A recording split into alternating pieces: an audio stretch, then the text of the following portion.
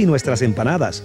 Todo rapidito, facilito y económicamente. A cada taza de promasa agregue una taza de agua tibia o más. Amase suavemente, déjela reposar por 5 minutos y ya está lista. Recuerde, en Colombia la arepa se llama promasa.